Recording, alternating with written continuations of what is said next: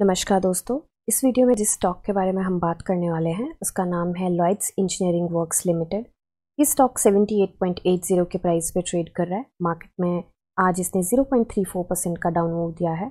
Market cap होगी इसकी 9028 करोड़ की। प्रोमोटर होल्डिंग 57.20 परसेंट है। बुक वैल्यू 3.59 है। डिविडेंड यील्ड 0.25 परसेंट है एंड फेस वैल्यू वन है। फंडामेंटल वीडियो मैं ऑलरेडी बना चुकी हूँ एंड फंडामेंटल वीडियो के साथ साथ दो लॉन्ग वीडियोस भी बनाई हैं जिसमें कोशिश करी गई है इस कंपनी के बारे में फंडामेंटल्स कवर करने की सारी। तो आप प्लेलिस्ट में देख सकते हैं लॉयड स्टील की प्लेलिस्ट में आपको मिल जाएगा। अभी के लिए देखें तो स्टॉक 50 एंड 200 दोनों डीएमए से ऊपर ट्रेड करा है, जो कि एक अच्छी बात है। पी रेशो की बात करें तो मीडियम से थोड़ी सी ऊपर है 104.10 पे है एंड फाइव ईयर्स के टाइम स्पेन पे वन मंथ पे देखें तो मीडियम से काफ़ी नीचे है ये तो कोई दिक्कत परेशानी की बात नहीं है।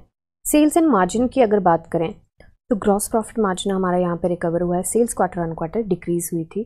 अभी के लिए चलते हैं हम इसके चार्ट पे। चार्ट पे देखिए, आज हमें यहाँ पे अगेन डाउन मूव मिला है। बहुत छोटू सा डाउन मूव मिला है zero point three four percent का। एंड हमें आज जो कैंडल मिली है, वो ग्रेव स्टोन डॉजी मिला है। इसको हैमर तो नहीं बोल सकते ग्रेव स्टोन डोजी मिला है।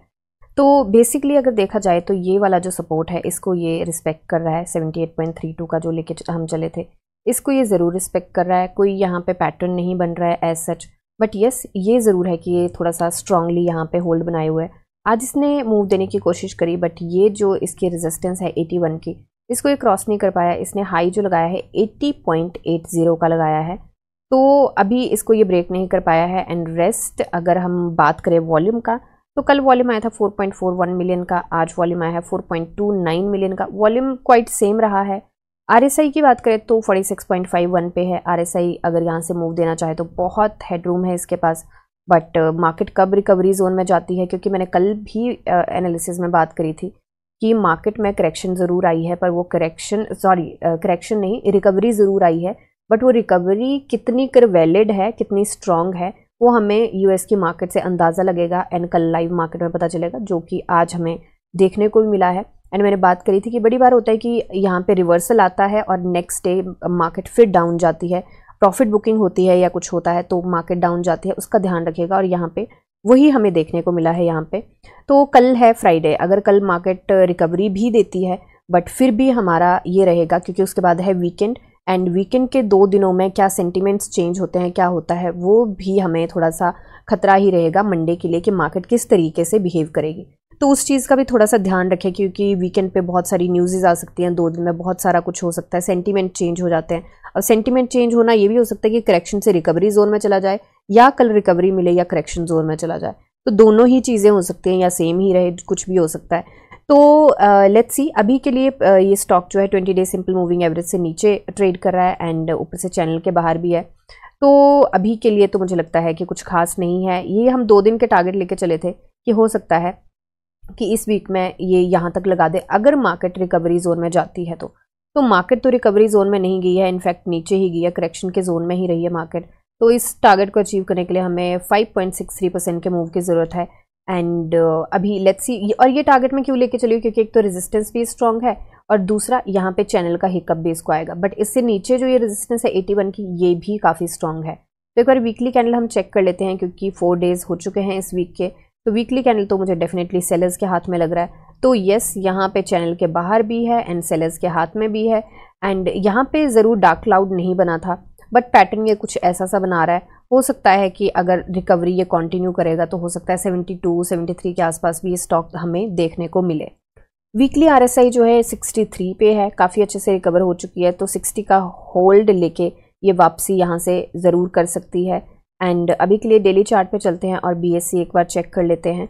तो बीएससी की बात करें तो इसका प्राइस वैन जो है ट्वेंटी परसेंट का है एंड न्यूज़ uh, सच कुछ भी नहीं है। Uh, यहाँ पे रिसेंट हो सकता है कि मेरी वीडियो बनाने के बाद आ जाए।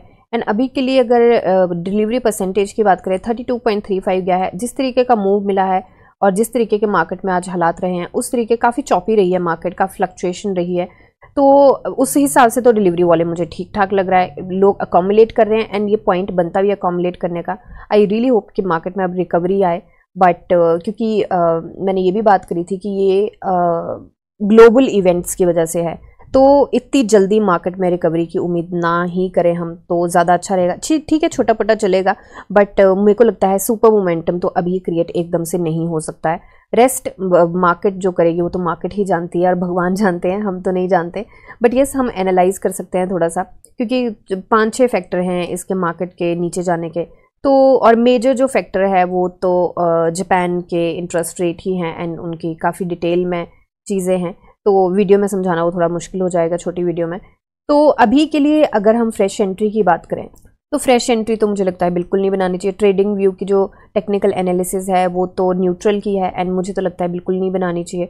और वो क्यों? क्योंकि अभी मार्केट में रिकवरी का जोन आया नहीं है एंड यहाँ पे करेक्शन जोन ही चल रहा है। एंड एटी वन की जो रेजिस्टेंस है, अब वो और स्ट्रांग होती जा रही है क्योंकि यहाँ पे रिजेक्शन मिलती जा रही है।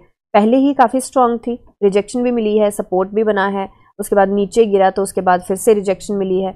तो मुझे लगता है कि अभी थोड़ा सा संभल के चले तो ज़्यादा अच्छा रहेगा। एंड टारगेट अभी के लिए हम कोई नहीं लेके चल रहे। ये दो दिन के टारगेट लेके चले थे, जिसमें से एक दिन बचा है। अगर थोड़ा सा रिकवरी जोन में आ गया तो ठीक है। नहीं आया तो मुझे लगता है कि ये टारगेट भी कुछ ज़्यादा प्रॉमिसिंग है नहीं अभी के लिए। ठीक है तो अभी के लिए आरएसआई की हम बात कर चुके हैं। अगर यहाँ से मूव देता है तो काफ़ी सारा हेडरूम है। यहाँ पे फोर्टीज़ की रेंज से निकल के सिक्सटीज़ में जाने के लिए हिकअप ज़रूर मिलेगा।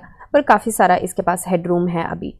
एंड uh, ये जो है स्टॉक वो twenty days simple moving average से नीचे ही ट्रेड करा है वो हम बात कर चुके हैं पहले भी। एक बार हम देख लेते हैं इसका ई एम क्रॉस इंडिकेटर लगा के। एंड ई एम क्रॉस जो है यहाँ पे डेथ क्रॉस हमें दे रहा है तो ये एक अच्छी बात नहीं है। यहाँ पे डेथ क्रॉस हमें मिल रहा है। एंड डेथ क्रॉस के बाद स्टॉक नीचे जाता है यूजली बट ये थोड़ी डिफरेंट स्थिति है इसकी अभी डेथ क्रॉस मिलने की, क्योंकि मार्केट करेक्ट हुई है तो हो सकता है कि जल्दी ही इसको गोल्डन क्रॉस भी मिल जाए। एंड गोल्डन क्रॉस मिलने वाली स्थिति भी डिफरेंट होगी तो हम ये नहीं बोल सकते कि गोल्डन क्रॉस मिलने के बाद एकदम से हमें ये रैली दिखाएगा। बट यस जितने, जिस तरीके से मार्केट करेक्ट हुई है, उतनी रिकवरी तो ये मार्केट में मुझे लगता है देगा ही। एंड इस स्टॉक का भागना भी थोड़ा पेंडिंग है एंड बाकी मुझे लगता है कि जल्दी ये स्टॉक कुछ गुड न्यूज़ भी देगा, कुछ कॉन्ट्रैक्ट्स एंड एवरीथिंग के बारे में। मेरे पास कोई इनसाइडर इन्फॉर्मेशन नहीं है। आई एम जस्ट गेसिंग क्योंकि जिस तरीके से काम कर रहे हैं और जो इनका इंटरव्यू आया था इन एवरीथिंग तो उसमें जो इन्होंने बात करी थी, उससे मैं थोड़ा अंदाज़ा लगा रही हूँ। मेरे पास कोई न्यूज़ नहीं है। तो मुझे बस लग रहा है कि हो सकता है कि न्यूज़ आए।